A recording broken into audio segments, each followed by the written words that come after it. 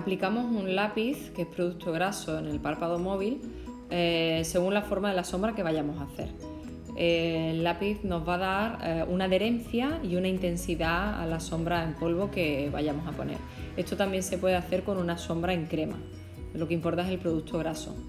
Vamos a difuminar bien los cortes para tener solamente eh, lo que es una, mancha, una mancha de un producto, del producto graso, que en este caso es el lápiz.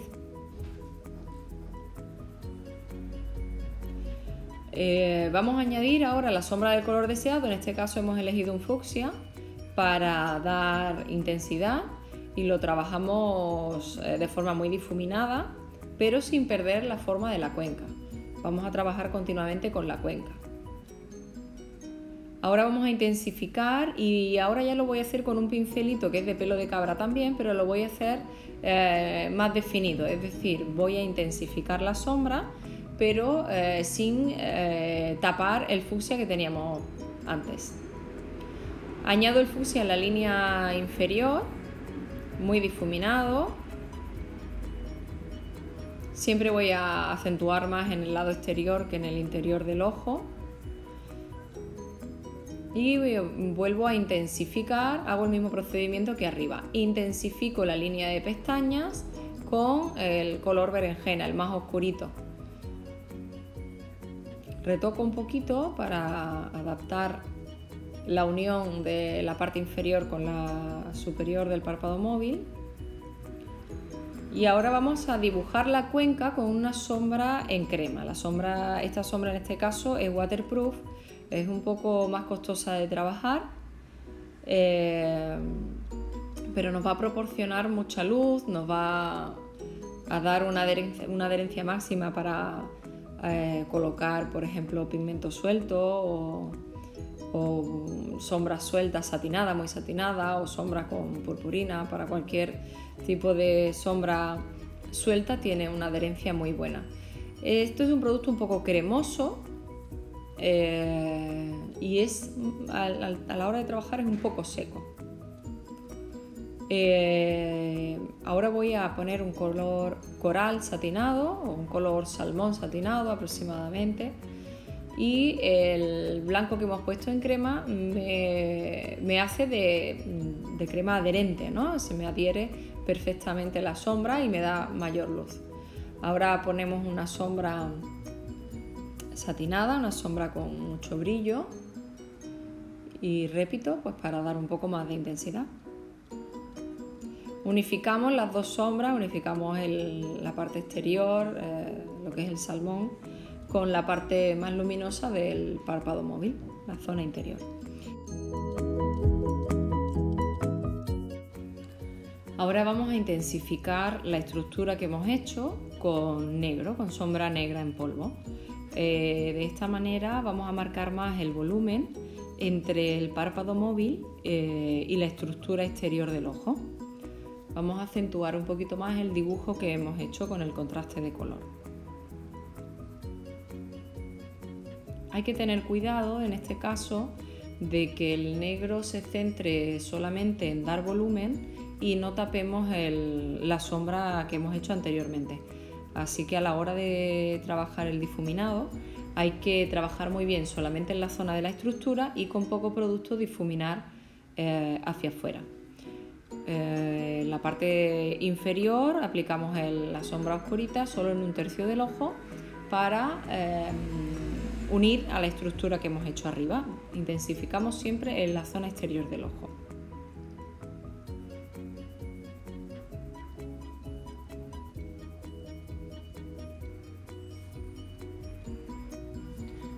Ahora de forma muy sutil voy a llevar el negro eh, por la parte de adelante de la cuenca. Aquí no quiero delimitar demasiado, pero bueno, quiero dejar como un efecto difuminado del negro eh, hacia el lagrimal sin llegar a, tocarlo. Eh, sería por dibujar un poquito más la cuenca. ahí retoco un poquito el fucsia, sombra fucsia, para no perder la intensidad y terminar de pulir el difuminado del negro y el fucsia. Marcamos el punto de luz, siempre lo voy a marcar en la parte más alta del arco superciliar y eh, voy hacia el lagrimal. Una vez tengo bien aplicado el punto de luz, entonces lo que trabajo son los difuminados hacia el rosa, hacia el fucsia, para que la transición del color sea bonita y equilibrada.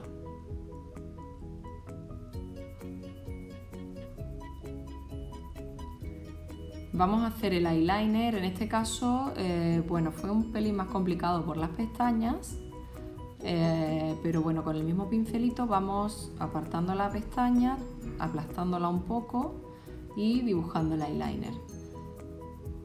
En este tipo de sombras me gusta hacer un eyeliner un pelín más grueso porque eh, con la acuarela blanca o con la sombra en crema blanca en este caso, al tener tanta luz el párpado móvil queda un poco menos dibujado.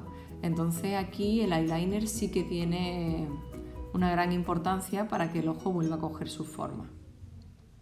Mientras seca el eyeliner dibujamos la ceja.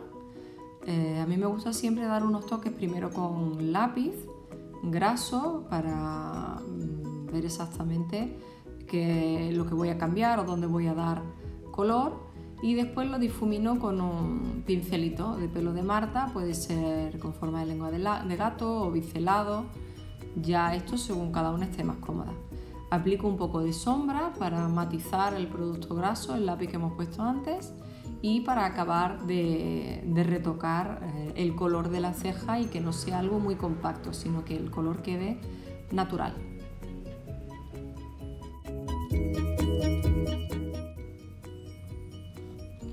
En la línea del agua vamos a aplicar un verde eh, metalizado, no es un verde muy potente porque tampoco quería crear un gran contraste. Limpiamos el exceso de polvo y pasamos a colocar la base. Eh, en este caso he dibujado antes el ojo, pues porque como llevaba sombras eh, oscuras y con mucha pigmentación, pues he preferido trabajar antes el ojo. Ahora estoy trabajando con un producto graso, con un paint stick, eh, con un fondo beige. Y bueno, eh, aplicamos una capa generosa para cubrir las imperfecciones. Este tipo de, base se suele trabajar más para maquillajes de noche o eh, fotografía.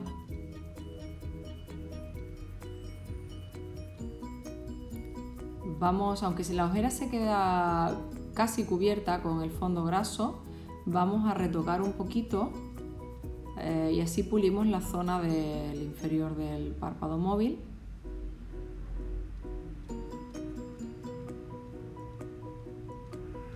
Trabajamos el modelado del rostro, yo en esta ocasión lo estoy haciendo con una brocha plana y el producto es graso también.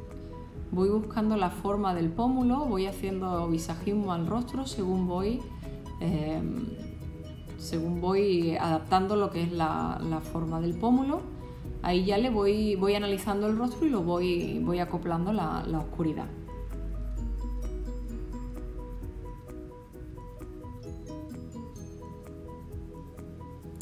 En el maxilar, ella en este caso no necesita eh, trabajar mucho el maxilar, pero siempre me gusta definirlo con un poco de oscuridad eh, para darle, eh, darle una forma más estilizada al, mentón. yo como voy haciendo el visajismo según voy analizando el rostro y voy trabajando, pues puedo repetir, según voy trabajando, puedo repetir en el pómulo, subo a la frente, vuelvo a bajar al maxilar. Eh, voy trabajando según, según me, voy estructurando el rostro. Dibujamos un poquito la nariz, la parte del lateral y la parte baja para cortar ligeramente y estrechar un poquito solo la punta. Ahora voy a poner un poquito de sombra, muy poquito en la parte inferior del labio inferior también para eh, provocar aún más el efecto volumen. Esta sombra tiene que ser muy sutil. Vamos con el punto de luz. En este caso yo, estoy trabajando con una brocha un poco pequeña. Me gusta esta luz, me gusta más ponerla con una brocha eh, con forma de lágrima, pero bueno, era la que tenía en ese momento a mano y lo puse con esta. Con la, mm, con la de lágrima lo que te, es más fácil trabajarlo y no tienes que eh, difuminar tú tanto la luz, sino que se va acoplando directamente. ¿Vale? Esta brocha es pequeñita, pero bueno, es la que tenía en ese momento a mano. Voy trabajando el centro del, del entrecejo, la zona del entrecejo, sin eh, levantar demasiado la luz para no provocar más altura en su frente. Trabajo labio superior para aportar más volumen. Y en la parte alta del arco superciliar para levantar un poquito la mirada.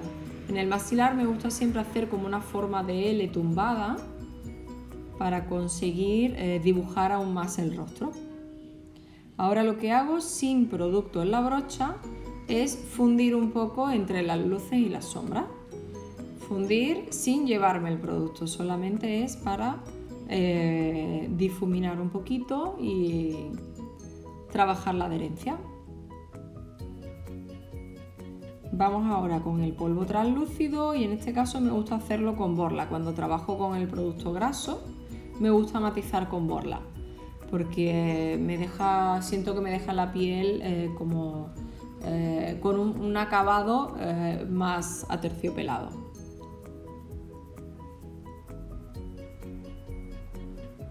Iluminamos el pómulo.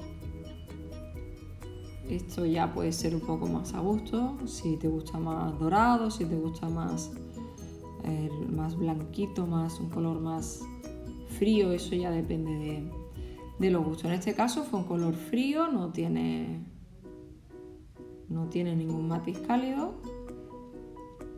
Y vuelvo a retocar las mismas zonas donde previamente he puesto la luz con el producto graso. Retoco también la oscuridad, me gusta siempre retocar las luces y las sombras con polvo porque hace que el acabado de la piel sea más eh, compacto, se ve todo como más de una pieza, se difuminan mejor los cortes, es una forma de pulir. Aquí he puesto el colorete con una brocha que se llama yasillo eh, y de forma ovalada. Eh, con esta brocha y esta técnica lo que consigo es que el colorete sea natural, ¿no? No se vea, no se vea dónde, de dónde empieza, sino que sea un efecto como provocado de la piel, ¿no? Es un colorete que va eh, muy difuminado con toda la base, con la luz, con la oscuridad. Vale, vamos a dibujar los labios con el mismo tono que empecé a dibujar los ojos. Eh, es decir, voy a mm, trabajar en las mismas tonalidades el labio que el ojo. Voy a primero perfilo y después voy a dibujar un efecto volumen. Eh, ella en este caso no necesita mucho volumen, pero sí que pierde en el labio inferior pierde un poco el dibujo. Así que se lo vamos a crear con el efecto volumen o eh, poniendo más oscura la comisura y dejando el centro eh, más luminoso.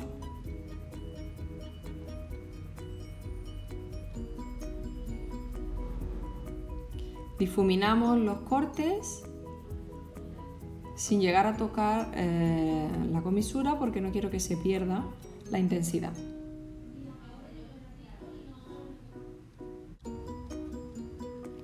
Aplicamos un labial rosa, rosa medio, rosa clarito más bien, si no es muy, no es muy subido, es para hacer el degradado entre, entre el berenjena y el rosa. Y unimos, difuminamos los puntos de unión entre la comisura y la zona media y central del labio. Difuminamos bien para que no se vean cortes, para que quede un degradado entre el oscuro, y el claro.